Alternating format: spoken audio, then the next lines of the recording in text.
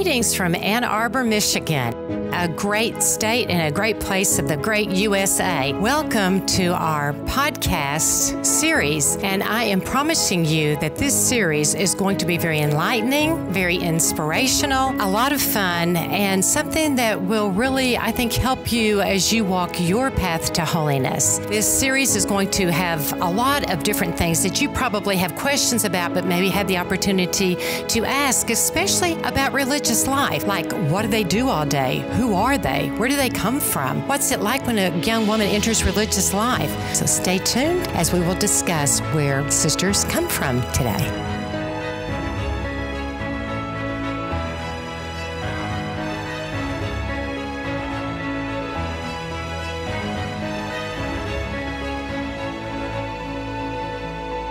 Welcome back to our podcast series, The Truth Shall Set You Free.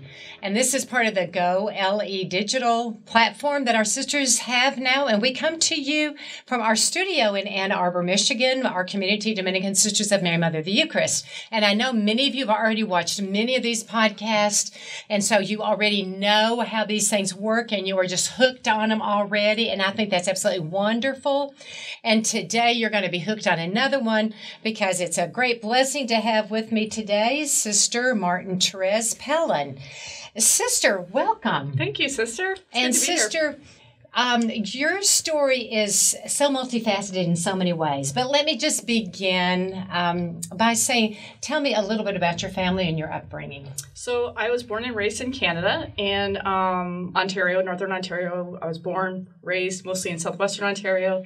I have a brother and a sister, both older. I'm the baby of the family.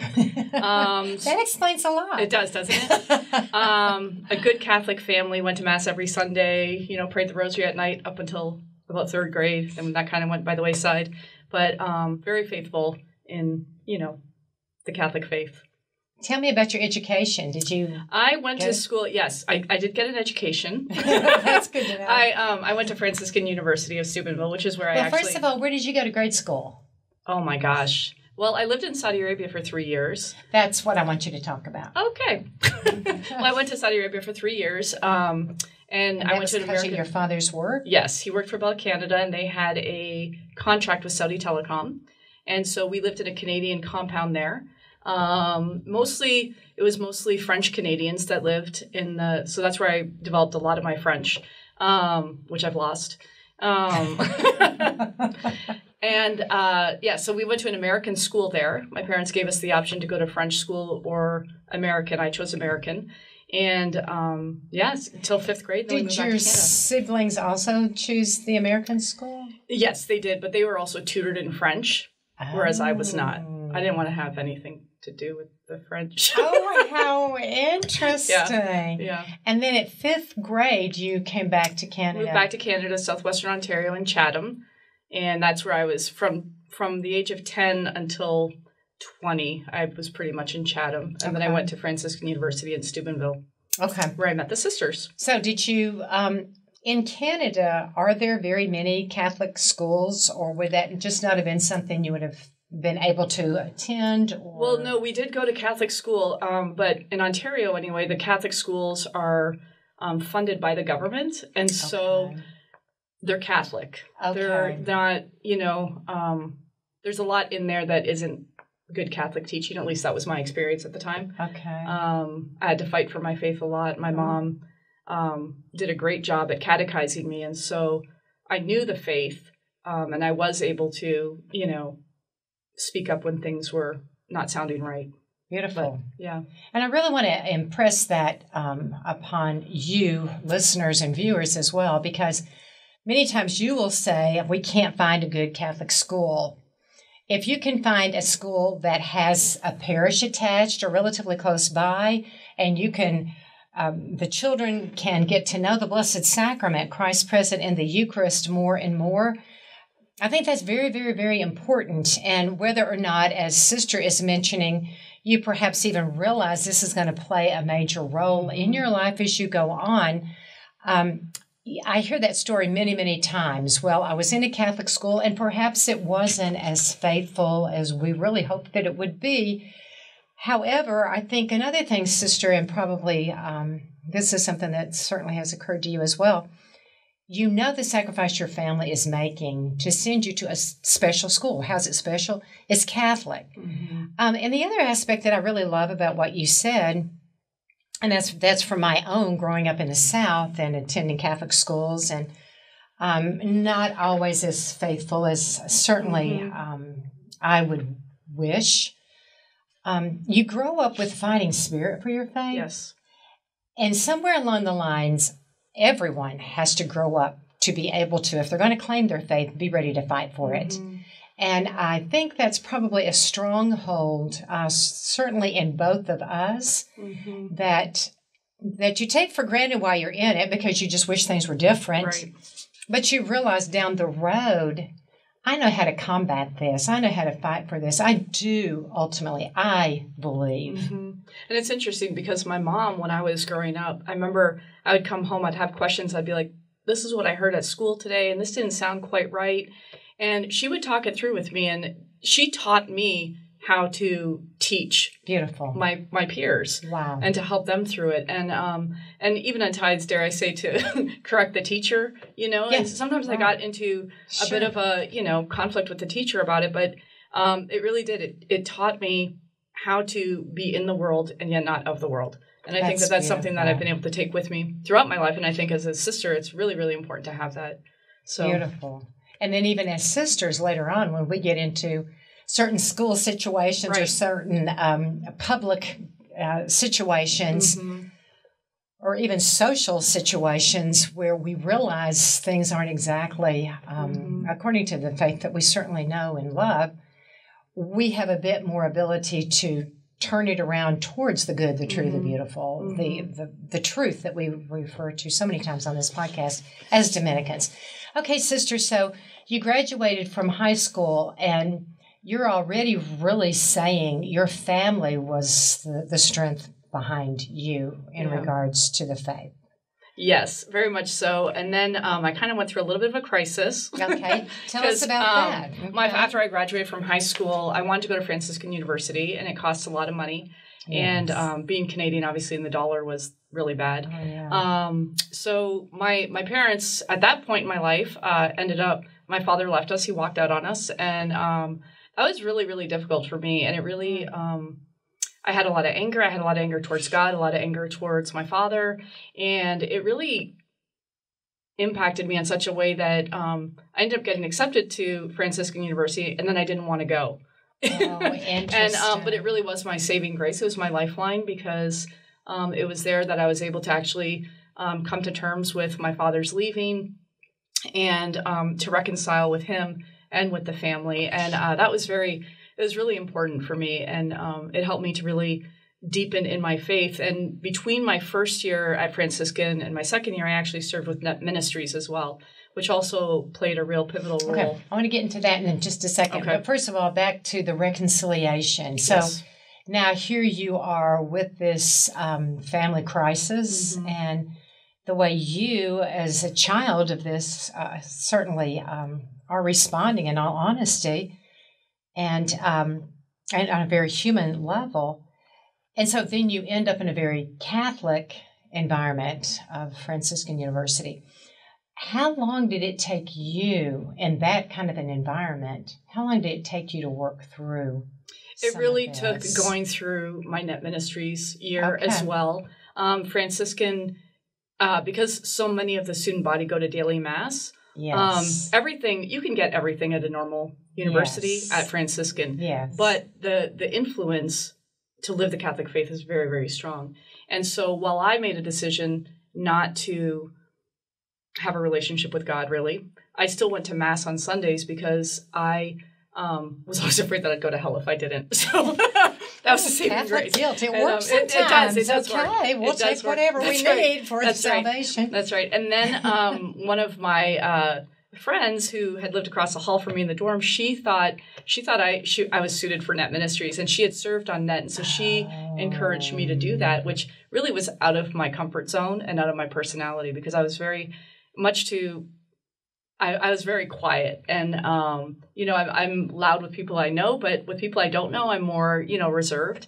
And um, my mom was shocked that I wanted to do that because it was How like beautiful. she's like, "You have to speak." I was like, "I know," you oh, know. how But um, that's where that's really where the reconciliation really because that really fostered in us just the importance of a prayer life and being rooted in Christ, living in community, um, having to work with other people, how to reconcile, um, and all of that kind of thing. And that's something that just really Now, I think probably all of you all have heard of Focus, the uh, Fellowship of Catholic University Students that are on so many campuses now. And another, and it's beautiful, and another really beautiful thing Sister Martin Therese is referring to that she was on, and it's called NET, and it's out of Minnesota. Mhm. And there's a, there's a strong uh, commonality between these two, but they all also have their own differences. Um, and this is the National Evangelization team. Team. And they literally, this is what makes me laugh, but I love it. So they go as a team, Mhm. and you're in a specific team, Mhm. and you all get into a van and um, with all these different these different aspects of humanity Men and women. and men and women and you offer it up Very much so many things I, I just love it because it stretches us out of our Mhm. comfort zone And you're living with host families all throughout the year. you're, You're mendicant on. Mhm. you're already learning how to beg the dominicans we are mendicants so we have that aspect and it really forces um, you to face your own humanity and to say what bugs me in another person and how can i get over it because And how um, can I bug another person? because because you have to live with this team wherever you are sent yes. So, Sister, tell us a few more of your experiences there because I, I happen to love Net Ministries and um, Yeah, you know, Net really formed me, and I, I really mean that. It laid the groundwork, I think. I mean, my parents laid the groundwork, but Net really um, taught me how to live in community. And um, my team was absolutely wonderful. We're, we're still in contact today, and it's Oh, 20 some odd years later. Wow. Um, yeah, and I mean, it was just, we would do every day, we'd go on retreat and we would serve anywhere from grade schools to universities to family retreats. And it was just every single day. And um, we'd be giving our testimonies and we had community prayer every day. So we'd get together for an hour a day. And um, it was mostly singing praise and worship Okay. and um, praying. And then we'd have mass every day and go to confession regularly. But we really did live um, a poor life as well. We received Beautiful. a stipend um, Mhm. once a month, and we had to, you know, Make use that money, make it happen throughout that month, and it really wasn't that much. And um, we'd travel around a 15 passenger van and with a trailer, so I learned how to drive that as well, which was fun. oh, that's and good because too. I was not going to go without driving the entire year, so I was like, yeah, sure, I know how to drive a 15 passenger. Um, so that was good. And then um, let's see. Yeah, so it was just it was it really did stretch me though because I do I it's it's hard for me to stay in people's homes a lot. It used to be um, because I don't I have a lot of germ issues, Ah. and so but it really did stretch me a lot. yeah, it, so yeah, so there were some places I just I really just didn't eat much. Other places, you know, it's just yeah, Wow. it was good. It was a lot of fun. It was a lot of fun. That's beautiful. Yeah. That's beautiful. And So, did you see the fruit of your labors? You know, not really. It was more planting the seeds. Okay. Planting the seeds very much because we were in and out. So we were in, we'd do a retreat for a day, for a weekend, and then we were gone.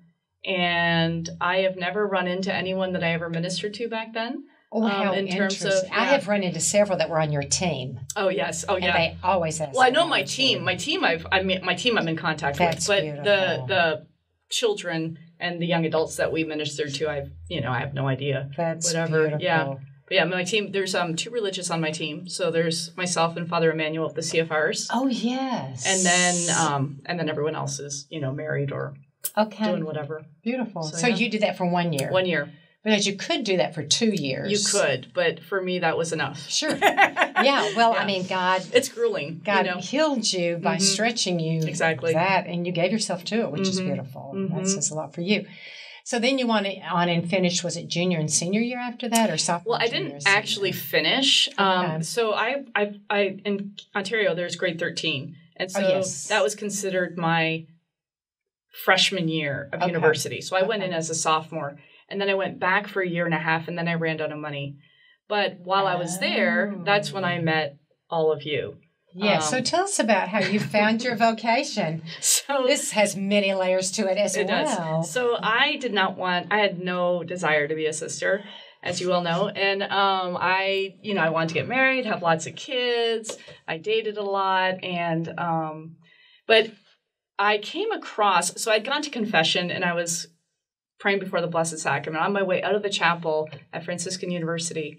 Um, I went out of my way for some odd reason. Now I say it's the Holy Spirit, but at that time I was like, I don't know why I did this. There's a rack of brochures with religious communities. And this was back in 1997. So the sisters, our community was just founded.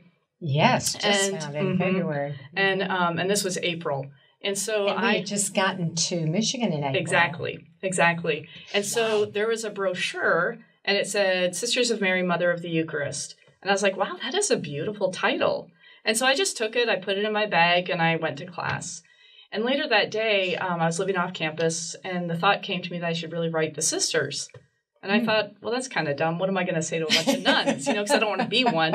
And um, and then the thought came back to me. You know, you should, you should really write the sisters. And again, I was like, have no desire, you know, like I, I so I just kind of kept pushing it out of my head. And as the week was going on, this nagging feeling just kept coming. It was stronger and stronger and stronger. And I was like, oh, for pity's sake. So I sat down at, at what then was a Gigungo laptop and um, just wrote, Dear Sisters of Mary, Mother of the Eucharist, this is who I am. This is where I'm from.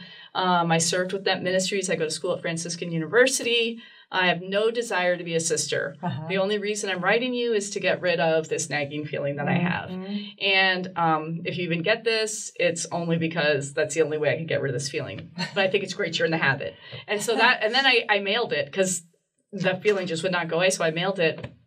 And within a week, I received a letter from you, and I'll never forget it because it had it was a little blue envelope and you know perfect oh, nice. handwriting with a little oh, bird on it, and um, and it and I had no idea. I mean, I knew nothing about the community at the time.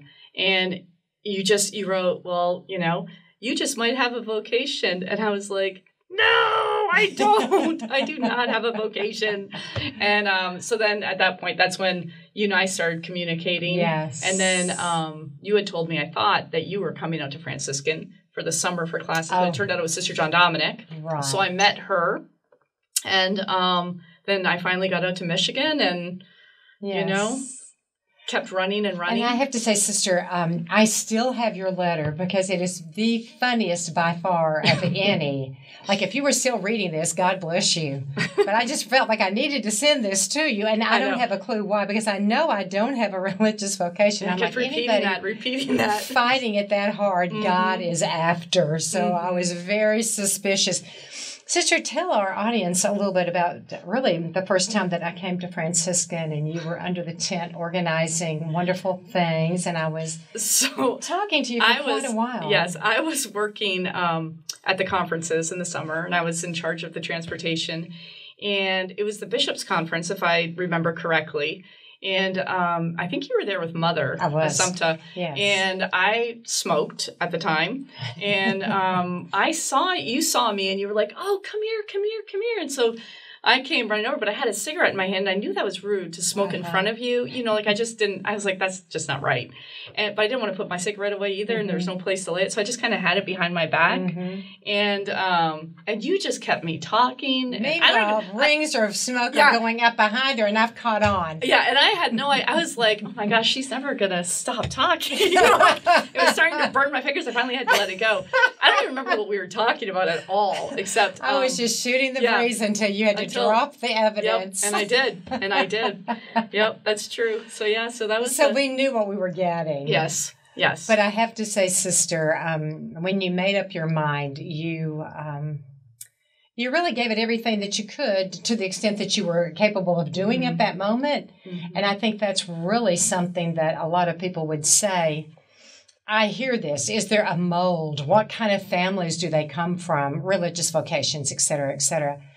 And um, I've just constantly want to say there is no mold. God is too creative to have made a mold. Mm-hmm. What a cheap way to get through creation if He had made a mm-hmm. mold and we were all just poured into this mm-hmm. thing. And the community cannot do that. Right. Every individual is his or herself before God, totally created uniquely from everybody else that ever will be created, ever has been created. And that's the beauty. And as I look at our growing community and I see so many varieties of personalities and interests and talents, I'm like, God handpicks who He wants exactly here. It's true. And how many, like a Sister Martin Therese would have said, I never wanted it. I never thought it could be possible. Now, Sister, years later, um, you're you're poured, pouring your energies into the apostolate of teaching yes. in a yes. wide variety of places too. Um, so, what has that meant to the maternal heart that has developed inside you? You know, it's this? really interesting. I have grown in love. And I, you know, like my patroness, St. Therese, yes. you know, love in the heart of the church. And I just, yes. I have never loved in this way, um, where I really, I look at my students and they're mine. You know, yes. and I and I mean that and I mean that sincerely. I pray for them uh-huh. every day. I pray for them. My heart, you know, when something awful happens to them, my heart really does feel for them, and that's something that um, when I was younger, I definitely would not have. I was so focused on myself and my own hurts and my own wounds uh, and that kind of thing and now it's mm-hmm. it's very much more for the other you know um mm-hmm. and it just it yeah it's i love i love teaching i love being in the classroom um and you're good at it i well i was gonna say yeah yeah, yeah. no i do i do enjoy it i mean if i if i am that's great um and you're high school i am high school yes mm-hmm. so your yes. degree is in i have okay so i have a bachelor's of science in education um social studies, history, structures of the discipline, science, and then I've got um, what do you call those? An endorsement for high school as well. Excellent. Okay. And then so I'm I'm qualified to teach K through 12.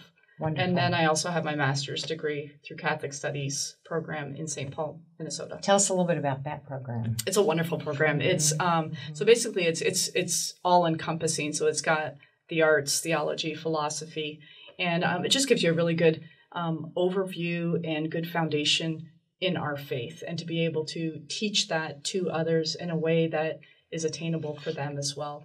That they can that really... increase your zeal. Yes, oh, very much so. Uh, very much so. Yeah. Very much so. Yes. And it's close to what seminary? Uh, St. Paul Minis- or St. School of Divinity, I think it's called the St. Okay, Paul School of so. Divinity. Yeah. Mm-hmm, mm-hmm. So it's on the campus of St. Thomas. Which, again, is, is a great place. Oh, yeah, so it's wonderful. It's there wonderful. are so many of these initiatives going on in the church, mm-hmm. in the United States, and I'm sure around the world as well.